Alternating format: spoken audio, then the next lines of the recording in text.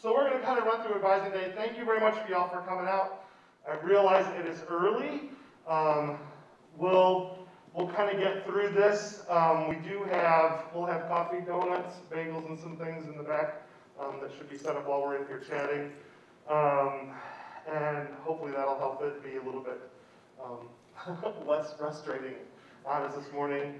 How advising day is gonna work, I don't know at the moment. Um, I know a lot of you have scheduled appointments with your advisors. We will do the best we can, right? So if there is nothing that ever happens in communication is that we learn how to be flexible and to adapt. And at any given moment, there could be a situation you have to overcome. So that is what we're doing right now. The good news is, we're gonna give you a lot of information about uh, the spring semester, um, and we can talk a little bit about internships and some other things. I will apologize right now for the presentation. This is an early version that wasn't quite complete on my laptop, so I could actually get at it, as opposed to the complete version, which is somewhere lost in this network that we're having trouble with this morning. So we will kind of move through and go there. Feel free to ask questions as we go through. We will go ahead and um, um, I'm going to share a little bit, then we'll have some of the professors talk about classes that they're teaching in the spring, and uh, we'll go from there, all right? So, here we are. Um, as I said, we're going to talk about a whole variety of things. Um, spring classes, I'm going to talk a little bit about internships. And I, we get a lot of the same questions about internships. I know you guys have some questions about internships and how do we go about it, so I'll kind of walk you through that this morning. Um, we'll talk a little bit about audit and advising. I'm going to give you some information. Um, I'd like to give some really good reminders about audits, uh, doing, running an audit, how to do it, and also some things to think about as you go through your advising appointment.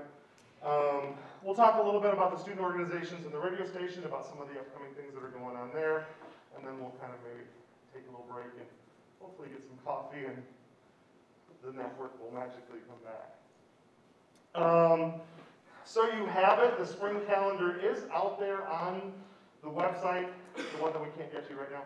Um, but it is, this is the spring calendar. Classes are starting again on January 10th. So those of you that were around here last spring, you know that was kind of a funky start to the spring semester. We started very late, almost to February, and then we were online. Currently, there are no plans for that. Regular semester, January 10th, we will start. Um, we have the, the 17th is uh, Martin Luther King Day, um, spring break and spring recess, et cetera, out there. And we will be finishing kind of back to that traditional time of right at the beginning of May with finals week. So internships. How many are thinking about, stressing about, wanting to know about internships? Kind of what's going on with it, right? So, for the spring semester particularly, I will be the instructor for the COM 483, the internship course. Um, when you register for that course, kind of how we go about doing that, you need to find the internship.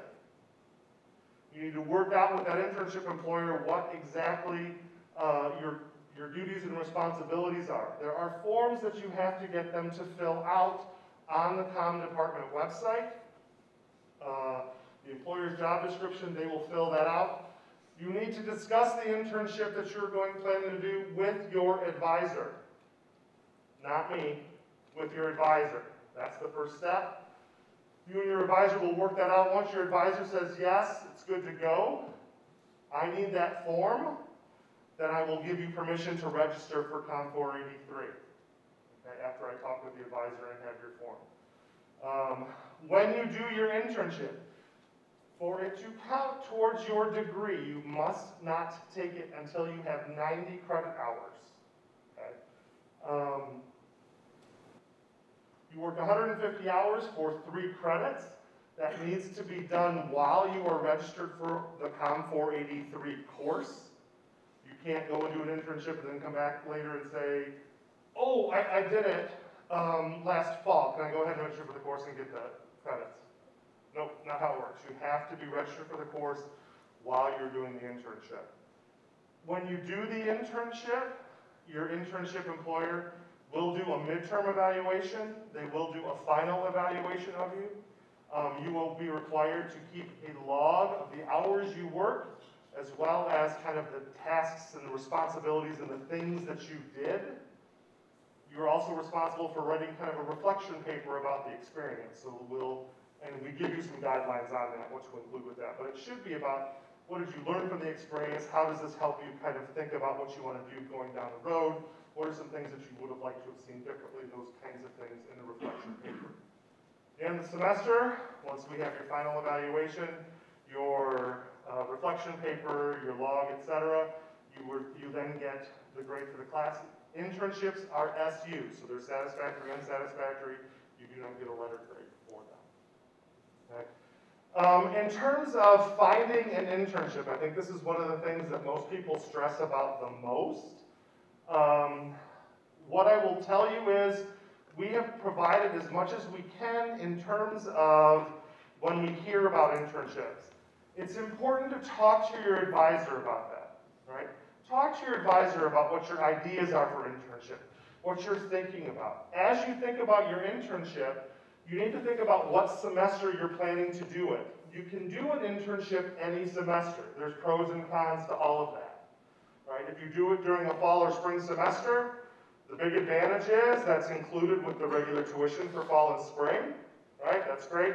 However, you have to balance working at an internship with taking all of your courses during the semester. So you'll have to work out that schedule with your employer. The benefit of the summertime is that you can work, you can go home and do an internship someplace else as opposed to locally. Um, it might give you a little bit wider range of what you might be wanting to look for. However, we realize tuition is a little bit different in the summertime and you have to pay extra for that. So you need to kind of think about that.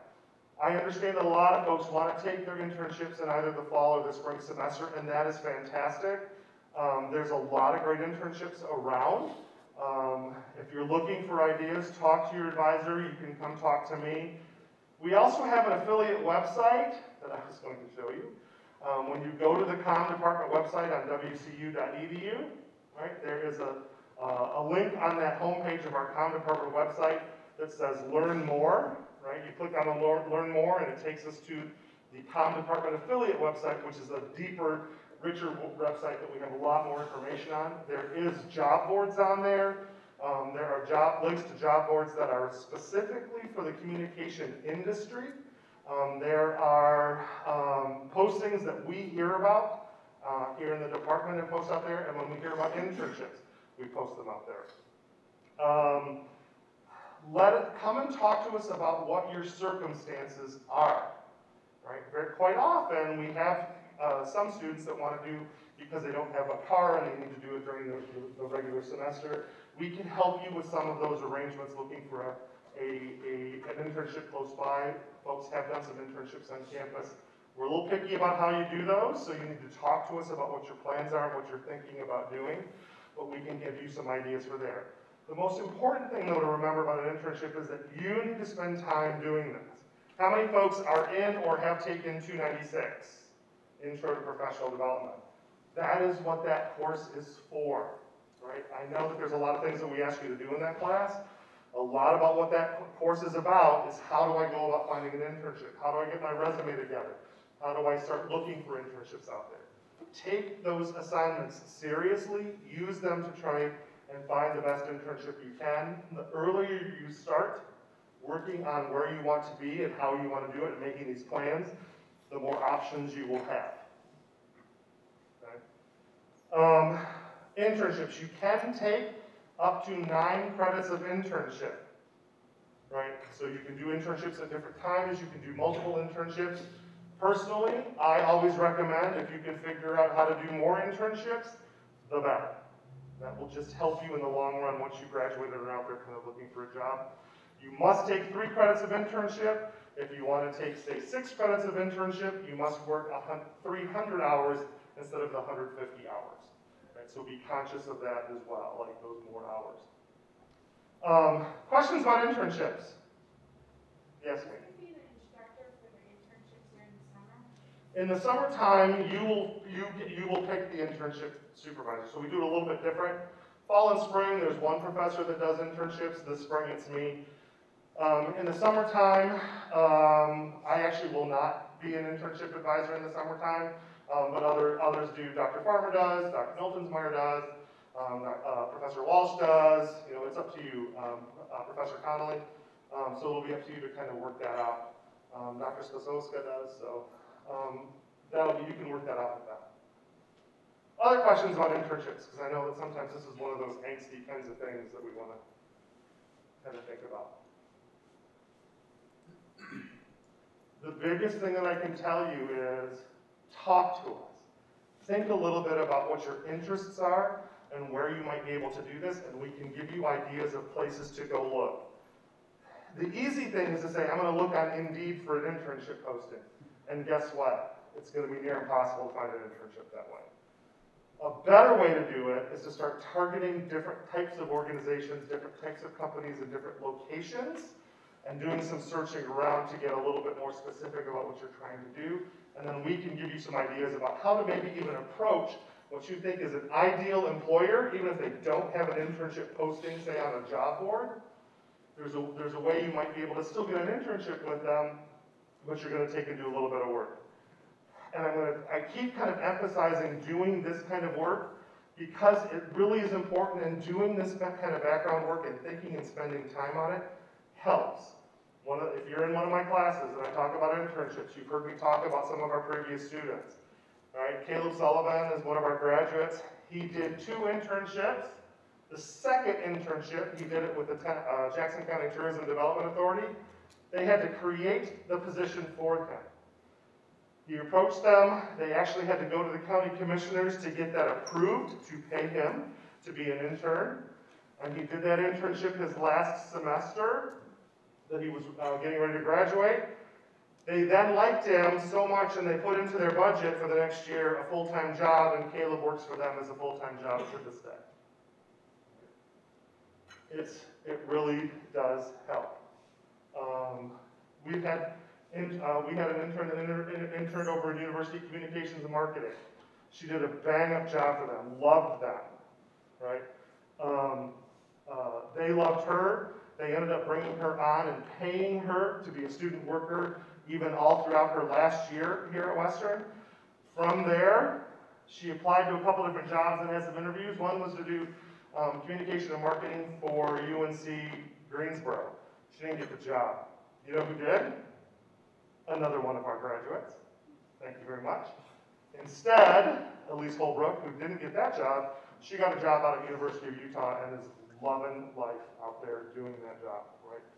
These internships are important, so spend the time, right? So when you're taking 296, that's usually in that 60 credit hour time frame, 60, 70-ish hours that you've got. That gives you a couple semesters to get to the 90 hours that you need, and then you can go do your internship and you will be set up really nicely. So spend the time doing that.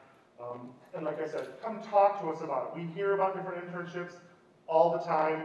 We have contacts about them, so come and talk to us. Other, any other questions about internships? Um, so this is where I was going to show you on the website.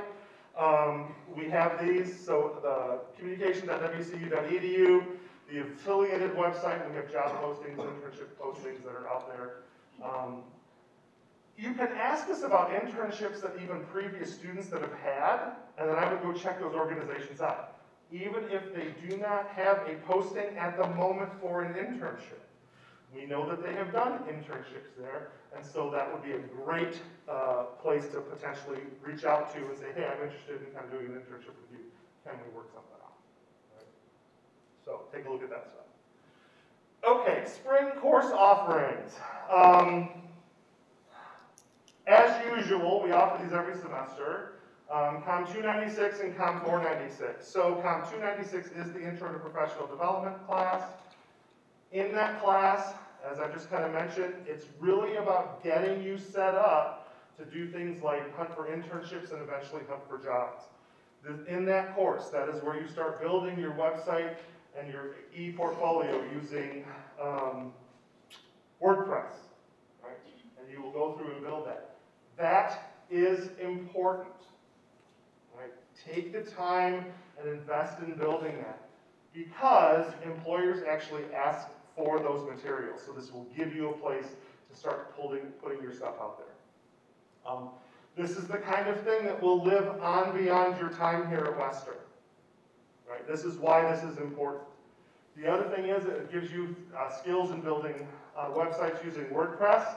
I can't tell you how many of our graduates have come back and told me, oh yeah, good thing I had to do that WordPress thing because guess what I have to do with my job now?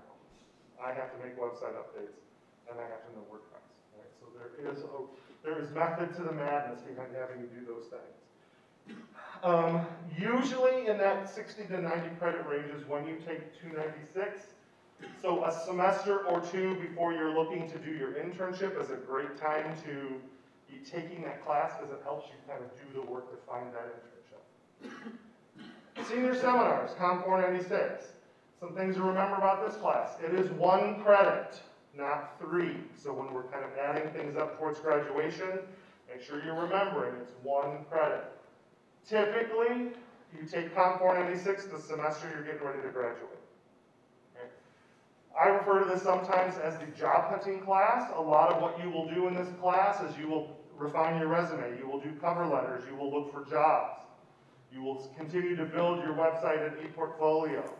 We expect you to have in the neighborhood of a minimum of six pieces for your portfolio when you graduate. These should be finished, publishable, published, kinds of things, right? They should be polished and really good. The idea is you need to show off to your potential employers out there what you can do. And this is the place to keep all those kinds of things out there. When you think about portfolio pieces, as a department, we talk all the time about the kinds of things that we want you to have in there. We do try to include some of those things into our courses and our course assignments, right?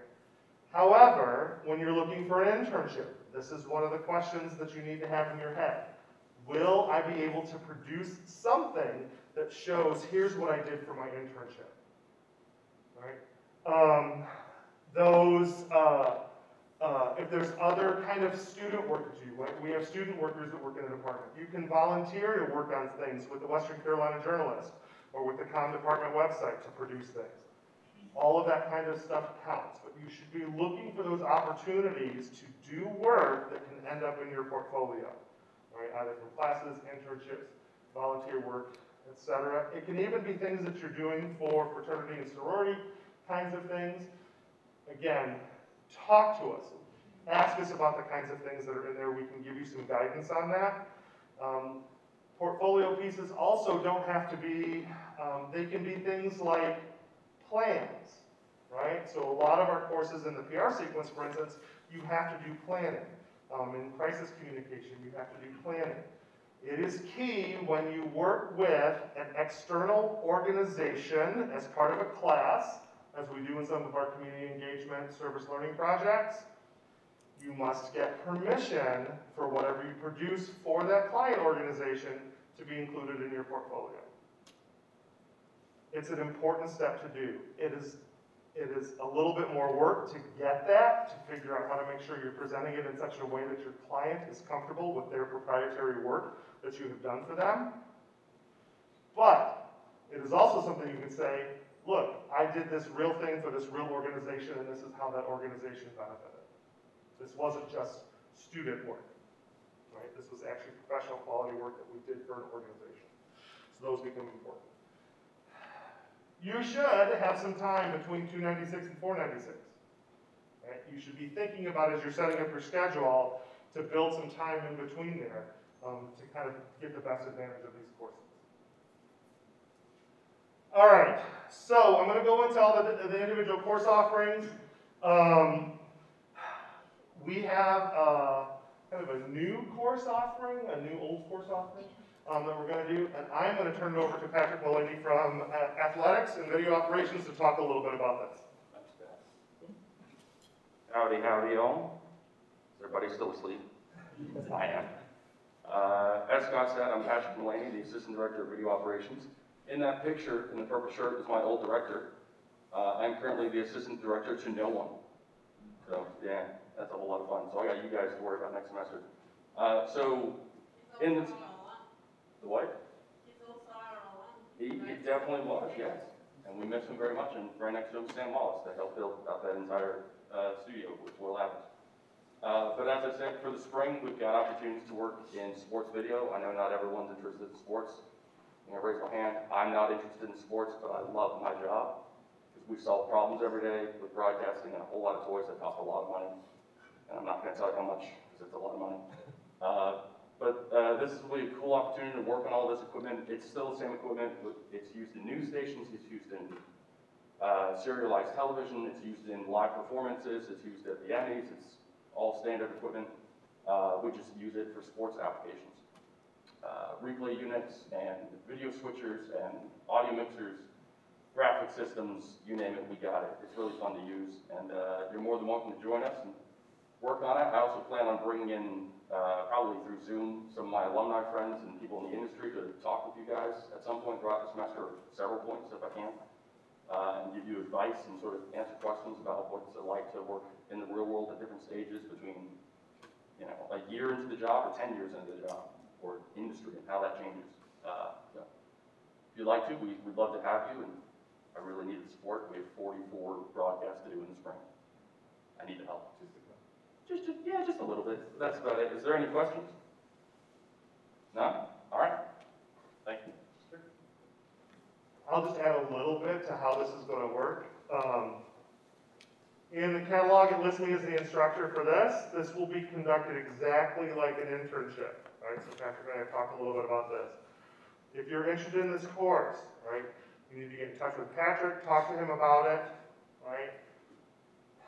You must have taken TV one for this course, that is a requirement for this pr- practicum. You will be working um, primarily on some of the games in the spring, so baseball, softball, soccer, uh, basketball, Softball, baseball, volleyball. volleyball, all kinds of things, right, that you would be working on in the spring. Um, it is also an SU course, right, so you will be working with Patrick. You will also then do just like an internship where you will have a midterm evaluation, you will have a final evaluation, you'll have to do a reflection paper, keep track of your hours. For this course, you must work a minimum of seventy-five hours, right, over the course of the semester, so it's not as much as an internship, but you need to be doing that as well. And again, you'll be working with Patrick on this stuff, he will be assigning you, doing the work, right, and then he just kind of reports back to me and says, here's how they're doing, right, and I'll keep track of those kinds of things. Um, some things to remember about this kind of work. Games often happen at times like spring break, right? The world of communication does not sleep. Uh, we are twenty-four seven business, um, and so you have to kind of take that into account in terms of scheduling when games are out there. You will work that out with, with Patrick, right? But that very well might be part of your responsibility nights, um, weekends, maybe even over the breaks to kind of do some stuff. So keep that in mind. However, this is great opportunity. Again, I like to brag a little bit about some of our, our graduates. Uh, Jarrett Frazier is a guy that graduated, gosh, Jarrett graduated almost 10 years ago now? Nine, 11 years ago now. 10 years. 12 years. Okay. 12 years ago, Jarrett Frazier. He did, while he was here, I don't, I don't think it's been that long. I think it's been more like nine or 10. We'll, we'll look, to check that. Jarrett actually did his internships, worked with athletics quite a bit while he was here, was a camera operator for games, um, did that quite a bit. He ended up interning with the Olympics several times over.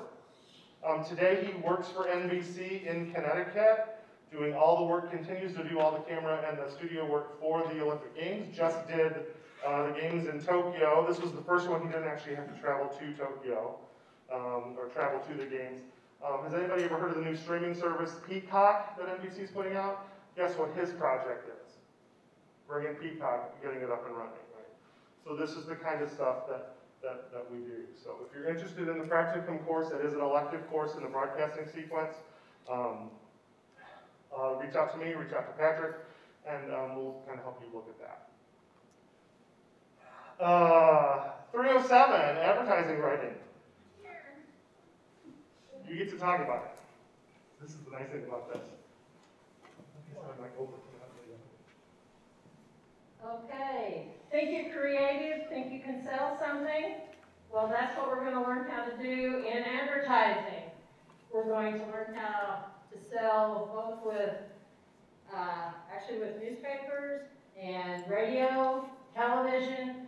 We'll take a look at social media, and you'll be able to put together a really nice portfolio of advertising uh, for your uh, prospective jobs.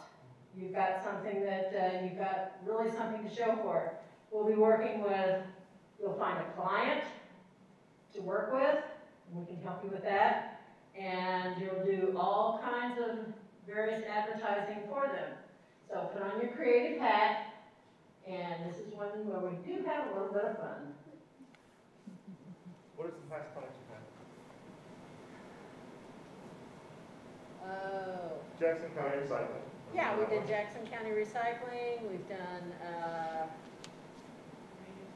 well, we, yeah, we did a number for the radio station, and that might be one that we want to work for as it comes up Yeah. and starts to broadcast. We've had, uh, several nonprofits in the area that we've worked with, so, Yeah, So lots of different things that you can do. lots of different things. And a different kind of writing than some of the other classes that we have, uh, we have you kind of go through. Another one that we're offering this spring, I am teaching this one, health communication. If you are a health com major, this is a required course. It does satisfy as an elective for a lot of the other majors. Health communication, um, the interesting thing about what we do in the world of health is that how we communicate and all of the things that we think we know about communication, when we get into the context of health and health-related issues, it all changes, right? And the other thing is that if you've been in some of my classes, you have heard this, that we know that how well we connect to other people affects our health physically. I think that's a fascinating kind of thing. And how do we connect with other people? Through communication. So what we'll talk about in this class is all those different types of communication that come up in the world of health and how it affects us. So we will talk a little bit about patient-provider interaction. So you and your doctors or your nurses or your dentists or your physical therapists.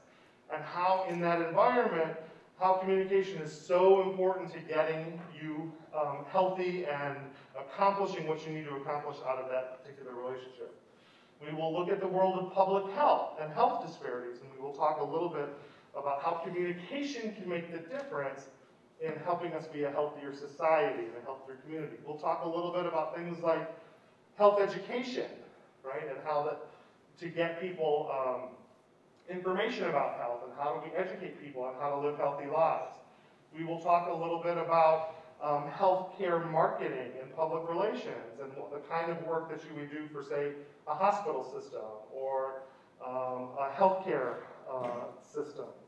Um, we'll talk a little bit about the, the, the specialized world of um, agencies and how agencies are hired specifically to help do health communication for different kinds of clients. They look at doing employee communication and healthcare marketing and all those kinds of things. So there's a lot of different kinds of things we do. If you're interested in the world of health, this is a really interesting kind of course to take for that. Um, like I said, I'm teaching that in the spring. Um, and it's a required class if you are a health com major, it's elective for everybody else. So this is, like I said, the old presentation. Writing for broadcast is another one. Um, there's, there's beautiful visuals that go along with this that we'll show someday. Okay, so uh, this is a required class for uh, broadcasting students. Um, it has two prerequisites. You have to have uh, 240, COM 240, and you have to also have COM 255. Um, it's a class that we are revamping, and for the first time we're co-teaching, I'm co-teaching it with Matt. Um, so it, uh, it is envisioned to be very hands-on class. Um, I will cover the writing part, and Matt will cover the technical part. And um, in the second half of the semester, you guys taking this class will be producing newscasts, variety of length. Um, essentially, everything that you write in the class, it's a reporting class. Um, you will be putting it as a newscast. Um, you know, five minutes with um, shorter stories uh, very little visuals, and we can even trans transform that one because we will have audio to, to run on the radio station if uh, Don is, and his staff is interested in doing it. Um, it's a once a week, a block of three hours that will give us time to really work on hands-on. It's a um, larger class, so the enrollment is 25 uh, students. That means that we will divide you in groups, and you will essentially produce not one but two, um, uh, two different newscasts um, on a weekly base once we start producing newscasts. Uh, and uh, it will all be with a goal to for you to have a lot of um, hands-on experience, portfolio pieces, and by the end of the class to know um, you will rotate, so not everybody. Um, you can, um, if you're interested to be on camera, you can be an anchor, uh, but most, almost all of you will have some experience in the back, um, working uh, in the control room. Right, Matt? Matt, did I miss something? Okay, he can't talk because he's close to the microphone. So, Comp 352 running for broadcast. Uh, radio 2. Um, so one of the things that we have to kind of think about with some of our courses is that they are only offered certain semesters. Radio production 2 is typically only offered in the spring, so if you're looking to take it, now would be the time. Uh, radio production two is one of the only classes you can take where there are no exams. There are projects. See, now he's just trying to sell you. Yeah, I am trying to sell it. Uh, there are projects, and these projects are judged based on professional acceptability for broadcast. Uh, you'll be doing everything from podcasts to commercials to public affairs programs. You'll be working with outside clients. Uh, for example, we've worked with the community cable, we work with Cullowhee Community Garden, the Jackson County Animal Center, uh, the, the, where the orphan dogs and cats go. Uh, we've done a lot of different projects, and the purpose of those projects is to get aired, uh, on WWCU, and if they are of such quality, we might distribute them to some other stations in the region and say, here's a public affairs program for you that can air. The purpose of this class is for you to generate not only stuff that we can air, but stuff that can go in your portfolio in four ninety-six and carry on to your employers. That's one of the things that we stress. So we work on high-quality stuff. Uh, I don't know who that lady is on the, uh, right up there. Uh, yeah. Uh, that was a project we did with Chancellor. So it's, it's a hands-on class, very much a hands-on class. It's about projects. And you have a semester to do these projects. We try and, we do have some hard deadlines, but there are some, we, you do the project, it gets critiqued, and then you go back and you rework the project until it's right. Because that's what your employers are going to expect of you. It's gotta be right. Uh, and if it's not, well, it's not. Uh, So, uh, three fifty-four, we only offer it in the spring. You do have to have taken COM two fifty-four radio production. Because we assume you know everything that you should have known in radio production, so that you could use the equipment and everything else. All right, uh, TV2, so, uh, Professor Walsh isn't here this morning, um, he had another meeting that he had to be at, but TV2, we are offering this again, this is one of the first times we've offered this course two semesters in a row, so some folks are in TV2 now, we're offering it again in the spring. TV2 is our studio-based course, so when you're working, um, you will spend, uh, the class will meet over in the CAT building in the TV studio, um, and so we'll look to do some kind of live types of shows. Um, I know that Matt has been helping out a little bit with that course over the, the, this semester, and we'll probably continue to do that in the spring, um, and, and, uh, with some of those kinds of work. So you'll learn to do, uh, multi-camera live television shoots, um, any kind of work that we do that is studio-based. If anybody is interested in that world of things like scripted television, for instance, one of the, thi- they shoot those in TV studios. One of the things that we did this last year, this, this, this semester, there's gonna be a story coming out about it. We had an agency that I am, uh, connected to through a professional organization that approached me and said, hey, can we do, can we use your TV studio? We need to do a commercial TV shoot. And we said, yeah, sure. And so they actually came and used the, the, the TV studio to do that. That kind of work is done in a TV studio. And so we, uh, the, the students that were able to attend some of those sessions and kind of see how they worked, kind of saw how that came together. The fun part about that particular project was, um, they actually involved this, uh, one of the students to be the clapper dude, kind of to, to mark the, the scene, so that was kind of fun. Um, so that kind of work, TV studio, the TV studio, has anybody not been in a TV studio? If you get the chance, you should go, you, to go over there, go take a look. It's pretty cool, like all the equipment that is in there and what we're kind of, what we do over there. Um, everybody's a little bit amazed. Uh, the TV studio is in the Center for Applied Technology, so it's over kind of behind the Belk build, like in that where the Belk building is, and the Bardo Center. There's a back building that is right across the, the street from the football parking lot. That's the CAT building, and um, people think of that like engineering stuff is in there, um, but the, our TV studio is in there, as well as for music. We're right next to um, a production studio for music. Uh, yeah, we have open office hours every day. So um, if you have questions about when those are, give me an email. But you can come over any day and we can show you around. It's a fun time. Um, so TV2, you must have taken TV1 in order to take the TV2 class. Um, gender communication. I'm Dr. Betty Farmer, and I've been teaching gender communication for a lot of years. And what I'm about to say to you may sound really dramatic, but I think it's true. And that is that taking COM 414 gender communication may just change your life. And you can notice here Sarah Stanley, who took the class previously, is nodding in agreement. If it doesn't change your life, it will at least change your perspective. Because as a result of learning about gender and the cultural influences around gender, it will allow you to look at the world through a new set of lenses.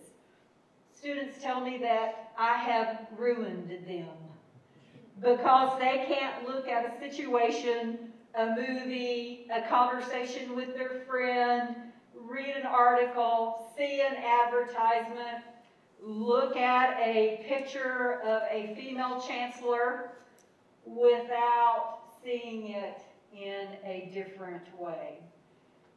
The course is totally discussion based. I will not lecture. I know that makes a lot of people happy.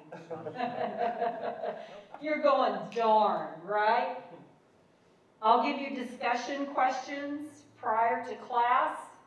You will need to read and be ready to discuss with your peers your experiences, your examples of the topics that are currently in the world today. Current events is really very important in that course because we want to be able to look not only at gender communication in terms of our past and how it has influenced us, but also in current day and then moving forward in the future. We'll talk about a wide variety of topics, from interpersonal relationships to romantic relationships to organizational concerns around gender, both for men and for women, as well as those who are non-gender conforming. So we will explore a wide variety of issues. So there really will be something for everyone, I think. And if you have any questions, Sarah says she's happy to provide the behind the scenes of COM 414 gender communication. It is an elective, it's only offered every couple of years. We'd love to see you in class. Thank you. Uh, Yeah, I'm kind of excited about our elective classes this spring. That's a great one that everybody loves when they take it, so think about that one. Um, this is another popular class that, um, Dr. Noltensmeyer has been offering relatively recently. Let's talk about sex. Yeah. All right, so we talk about sex every class period, right? We're gonna talk a lot about how do we talk about sex? How do we not talk about sex? How does that impact our lives by, in, in the ways that we talk about it or in the ways that we fail to talk about it? So we spend a lot of time talking about sex ed. Uh, what happened in sex ed? Did we get any sort of education? Uh, what was lacking in that?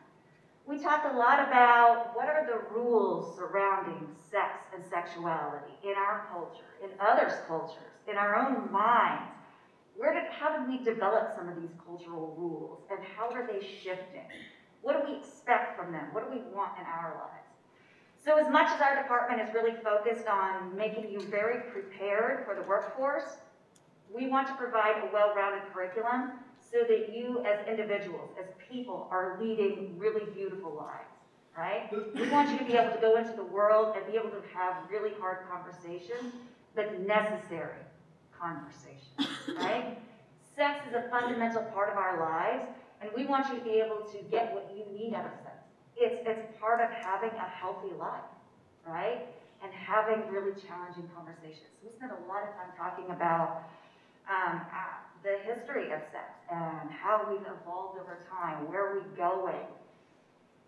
Um, what am I forgetting since my slide's not there? Cultural understandings. Oh, and we get to the media, of course, and all of the things that are in the media, as well as pornography. We have full conversations. So this class is very, I would say it is discussion based. I uh, present a little bit of a lecture, but the class is meant to be a conversation between everyone. And I've, this is the second time I've offered this class, which is why it is as a topics class and not a structured class per se. But I gotta tell you, uh, if you enroll in this class, you are what makes the class, right? What you bring to the table every day as part of being involved in the conversation, sharing your experiences. No, I don't wanna know about your sex life. But about our experiences and how we interact with one another and how we talk about our sexuality and what it means to us and what it might mean to others. It's so meaningful. When you share that in the class, we all have something to learn, right?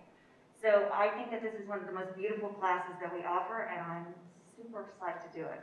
We do some projects. We do, uh, again, it's discussion based. It's meant to be a conversation. I'm hoping we can squeeze in a little podcast out of this, uh, potentially, and I have some ideas for some more creative projects. Um, because most of all, I want it to be a fun time. Right?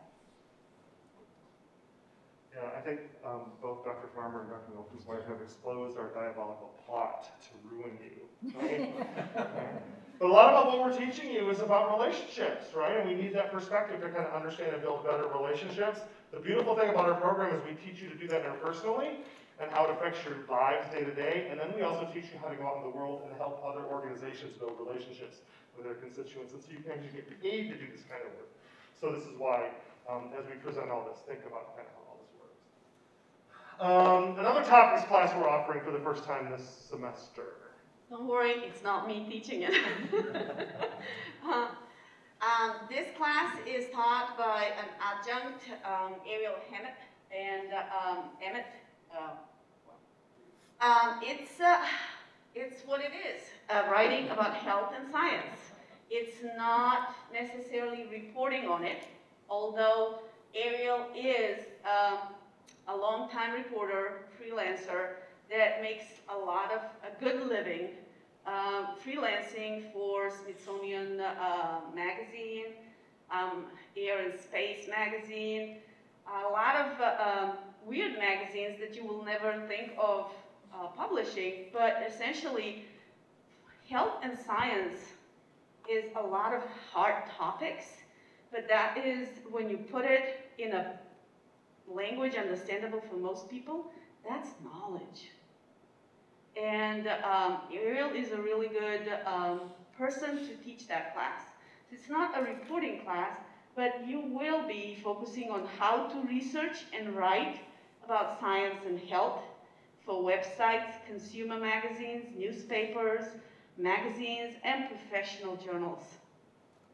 You will develop sixth sense about the best science story opportunities. So you will be looking for opportunities for where you can publish those. And topics will range from biotechnology and health writing and editing to topics on engineering, climate change, space, and social sciences.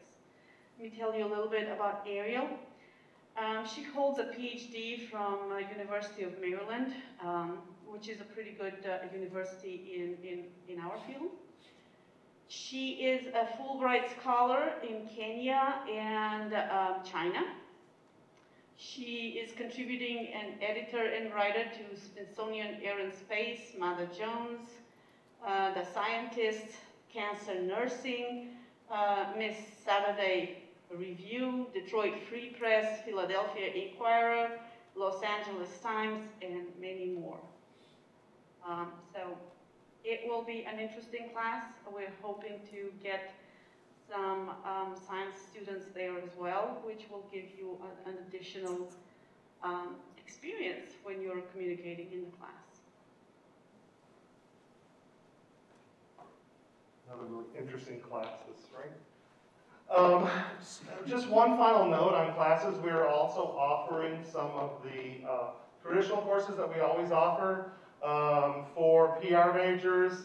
Um, if you have taken all of the sequence and it's time to take PR campaigns, that will be offered in the spring. Dr. Farmer is teaching that class. A reminder about PR campaigns, it is only offered in the spring, so do not think that you might take it in the fall because we will not offer it in the fall. That can affect your graduation time, right? So make sure that you're signing up for that if it's if, if that is kind of on the docket.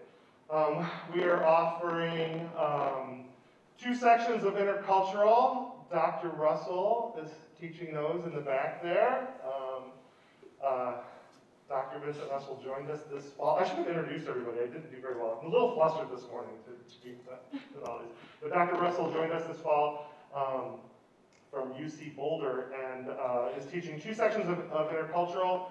Um, both Dr. Russell and Dr. Noltensmeyer are teaching um, sections of interpersonal. We're actually offering three sections of interpersonal communication um, to try and, since those are popular classes and required by a lot of things. Um, News 2 is being offered. Um, I think what else? That one is offered only in the spring, so Yeah. if you miss it, um, you will have to wait for another year. Uh, Cynthia Ray is teaching small group and team communication again, another one of our electives. So there's that one um, that we typically offer every semester if you've been looking for that. Uh? Theory, com theory that we also always offer. Um, Mr. Conley's teaching that in the spring. So a really nice variety of classes overall throughout the spring semester. Um, some great electives that I think will really help round things out. If you've been listening and paying attention, notice that we are working really hard to come up with assignments that will help you produce portfolio pieces. So pay attention to that. Think about that when you're doing that, right? I know what happens in the lives of students. We get super busy, we get the pressures of all kinds of things with all of our other classes and deadlines and tests and papers and whatnot. Try to pull yourself out of that a little bit and be able to focus on those assignments and really put your all into them because it makes a difference, right? You will be much happier when it comes time at graduation and your job hunting to be able to show this great work that we've kind of given you the opportunity to do. Okay? Um, some things to think about from advising. Um, one, remember uh, how to get to the checklist of classes on the communication website. It is there. Um, that homepage, it has all of the information also about internships, the forms that we use in our internships, um, eight semester plans, all of that information is there, so spend some time looking through that. Um, it helps in terms of having a conversation with your advisor. Um, also know how to do a degree audit, right? A degree audit is really important and you should be doing them kind of on your own throughout your time, not just around advising day right? Making sure what's going on with you. Because the degree audit says, am I on track to graduate? Right? It becomes really important in your last couple semesters, like when we get, as your advisors, notes that say, you know, somebody failed a degree, a graduation check, um, because of a problem, right? We don't wanna have to get those and try and figure those out at the end, so learn how to do the degree audit. Essentially, it's on MyWCU, where you can, on the, the student side, on the right hand, left hand side of the page, you perform a degree audit. You'll select the current term, right? Um, you will then kind of have your, your, what you were, uh, declared as your major, your program will come up, in this case, um, that's, uh, anthropology, but for communication, it will list all the information here, along with your advisor, right? Make sure you're checking that advisor. If some of you are relatively new to communication or recently declared your major, and it shows somebody that is your primary advisor, that is outside of the comm department, please come talk to me. We need to get that changed. I will, I, it, the, the folks you need to be talking to are the advisors, the professors in our department. We are the ones that know when things are being scheduled, we know what's being taught, we know when things are being taught, um, we know what you need to be thinking about in terms of graduation. We can also help you kind of navigate what the program is gonna be better than anybody else on campus. So make sure, if you have, sometimes we have advisors over at the advising center or over in athletics, right? Come talk to us in the department, make sure you have a primary advisor in the department. If for some reason you don't, come talk to me, right? And we will make that change for you. You will then generate a new evaluation, right? You'll have to uh, choose the, the term that you are looking to graduate. When is that? And you run the report, right? And that will give you everything that you need to have. Some important things to remember when you go through your graduation audit. One is you must have 120 hours to earn a degree from any university within the UNC system, right? Not just Western.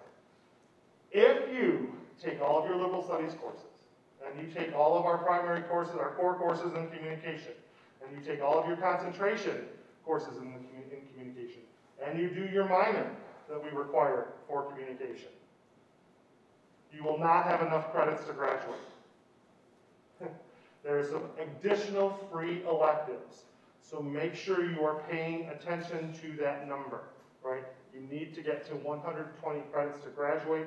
The other thing that I like to remind people is when you're kind of adding numbers up, you have to take COM 496, it's required for all COM majors. It is one credit, not three, right? So you don't want that to mess up your calculations either, right? Important numbers to remember. 120 credits to graduate, 496 is one credit, so remember that. Um, other important numbers that I've mentioned, 60 credits to go into 296, 90 credits to take an internship. Right? Um, for your internships, you have to work 150 hours for three credits. Right? Those are all the real important numbers I like to remind my advisees about that. So keep that, um, those things in mind. Um, a few other reminders here um, as we get to the close of the meeting. Um, scholarships, don't forget to look for scholarships. We have a, scholarship applications are open. We usually award scholarships in the spring semester. Um, so this is, go check those out. Some of the ones that we offer in the communication department are these here. The Patrick Lee Carmody Fund Scholarship um, was to support students in um, the broadcasting program. The Roy Taylor uh, Scholarship um, is, is something for a rising junior to apply for uh, in, in, the, in the department. Um, the Dr. Kathleen Wright Scholarship, she used to be the uh, head of the Department of Communication. Um, she uh, established a, scholarship open to all COM students, so we, we award that. Um, the Arthur Anderson Endowed Scholarship Fund, also this is one that we share with Performing Arts. One year they give it over in Performing Arts, one year they give it to a COM student. Um, and so those are, when those are available. So be thinking about scholarships and taking a look and applying for those out there uh, online. Okay, student media and organization. So I'm going to talk first. Um, we have, and I've been kind of talking about the COM department uh, affiliated website. This is, a, this is a site that was student built and is student maintained. We actually have student workers that work on this.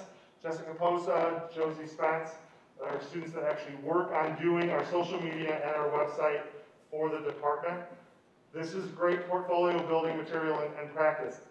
Anybody can work on this. We are always looking for folks that want to help produce content for the comm department website, for our social media for the, for the department. If you are interested in that, come talk to me and we can help that out. Um, this is just some examples of some things that we have done. Um, social media posts, um, stories about different uh, activities that have kind of gone on, profiles, um, alumni. That's actually Daniel Ross. He's a singer-songwriter um, writing music for Florida Georgia Line, um, amongst others over in Nashville, Tennessee these days, one of our former students. Um, so if you're interested, um, let me know, and we can uh, put you to work working with Web, WordPress and working with the social media for the department. Um, we've actually just now started um, a new social media management account with Sprout Social, so we're hoping to give more and more opportunities to learn and work with social media management software and important things for uh, employers are looking for. The Public Relations of Student Society of America is the PR professional organization. Um, I don't know if anybody's here today from PRSSA, um, but we scheduled some different kinds of things. Is that Hannah back there? Yeah, she doesn't want to say anything. I didn't, I didn't prepare her for it, so I'm not going to put her on the spot. Um, however, Hannah Breuer is involved with that, Morgan Gibson, Josie Spence. Um, if you have questions, you can talk to them. Come talk to me. We have our next event. It is open to everybody in the comm department. It is a week from tomorrow, uh, the 10th. It will be at 4.30. It will be in the uh, room across the hall from this auditorium. We are having Randy Wheeless. He is a staff writer and public relations specialist for Duke Energy, and he is coming to kind of talk to us um, next Wednesday night. So we invite everybody to show up for that. We got a nice big room over there, so hopefully lots of people can come out. 4.30 p.m., uh, 207 is the room in Apodaca um, next week. So um, if you're interested, come check that out. These are really important organizations um, because we, again, hopefully we're getting back into this as we kind of get a little bit more normalized with whatever we have to do with mask wearing. But one of the things that I, I work to do every year is send students to the conferences, the national conferences for PRSSA. I have actually been able to pay for student trips to go to places like San Diego, Seattle, Portland, Oregon, Boston, um, Atlanta, Indianapolis. Um, I think there's one coming up, Nashville, etc. So anyway, check out PRSSA. Uh, WCJ. Uh.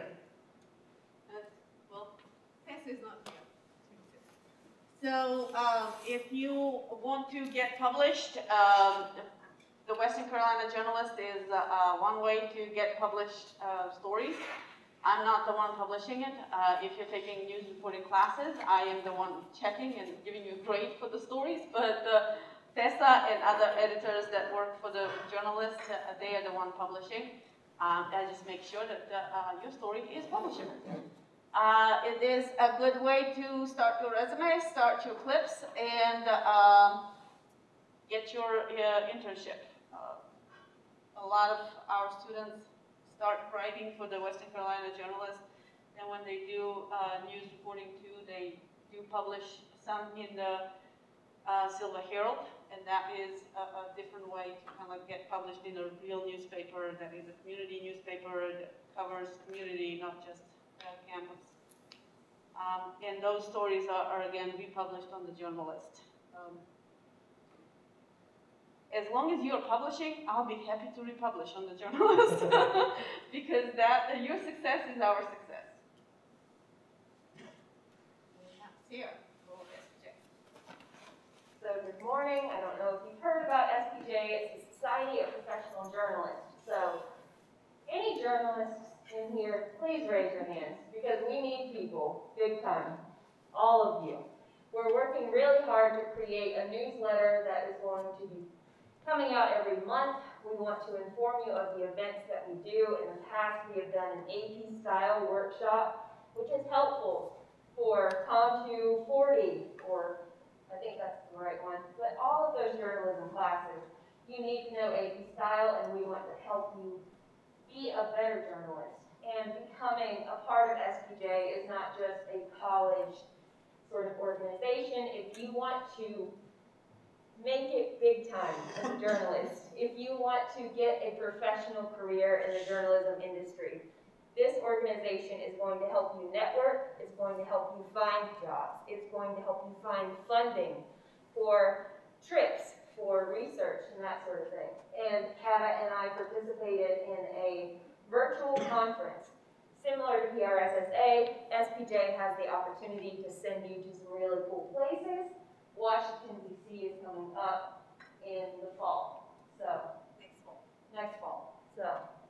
Come join us. If you have any questions, email me. We will be having some fun events soon. NBS, do we have any folks here from NBS? Want to talk about? it? Oh, there's one, sorry. Hey, Listen to uh, NBS is sort of the broadcasting club. We, we are in the TV studio Thursdays at six. I'm not used to talking on a mic. But, um, raise your hand if you are in NBS. Awesome.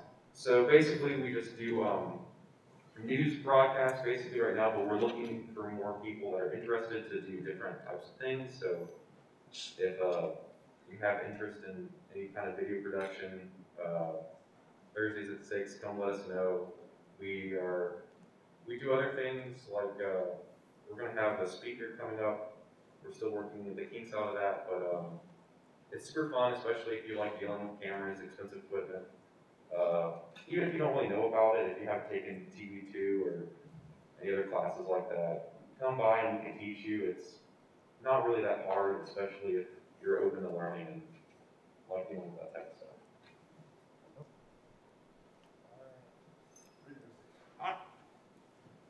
Ah, that's interesting, there's a tower. This has been a long project. Uh, it's been a long project because the location for the tower was on top of a mountain where there was no electricity and where there were no roads. And we had to build all of that. And then we had to build a one hundred and eighty foot tall, self-supporting tower, all the buildings, all the generators, all the structures to go with it. And as we speak today, they're installing the transmitter in the new transmitter building to connect to the big new generator, to connect to Duke Power, et cetera, et cetera, et cetera. And we're getting closer. But, as you may have noticed, we're all wearing masks. This thing called the pandemic has been absolute hell on the broadcasting industry because of a shortage of chips, because of a shortage of copper. And you name it, there's been a shortage of it, and there's been delays, supply chain disruption.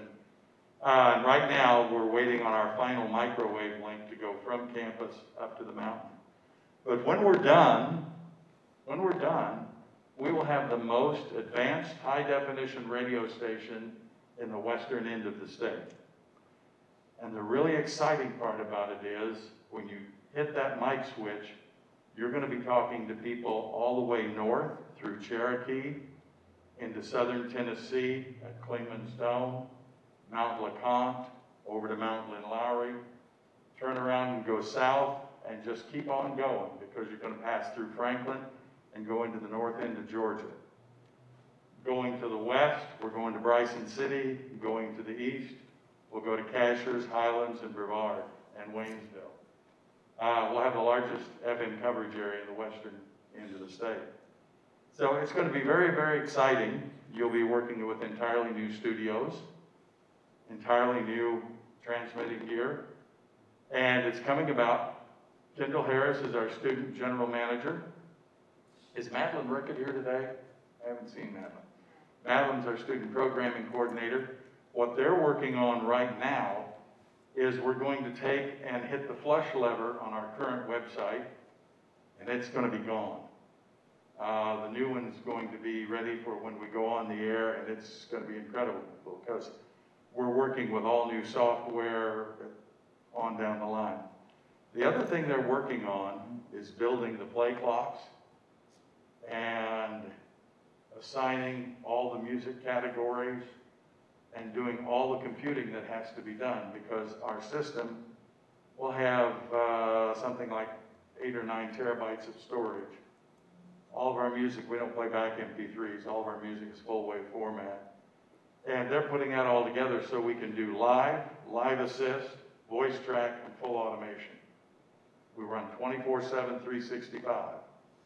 So if you're interested in this, uh, keep an eye out and contact Kendall. But sometime, we're gonna turn that puppy on and smoke the treetops.